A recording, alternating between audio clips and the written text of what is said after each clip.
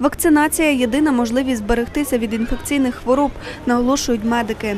Згідно з календарем щеплень, діти, що йдуть до школи, мають отримати щеплення для профілактики дифтерії, правця, кору, паротиту, краснухи, поліомієліту. Область забезпечена вакцинами десь в середньому від 23% до 50, е, 53%.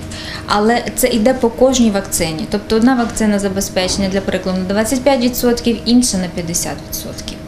І проведення самих щеплень залежить від того плану, який запланував той чи інший заклад на ту чи іншу дитину, залежить від календаря щеплення, залежить від віку дитини і від стану дитини. Ситуацію з вакцинами планують врегулювати до кінця цього року. Часто люди відмовляються від щеплень. Якщо така ситуація продовжуватиметься, українці отримують зворотню реакцію тих інфекційних захворювань, які вже подолали, кажуть медики. Ще дуже багато батьків відмовляються від щеплень. І коли приходить власний період, коли дитину треба влаштувати в дитячий дошкільний заклад, тут виникає ряд проблем. От мама відмовлялась, відмовлялась від щеплень.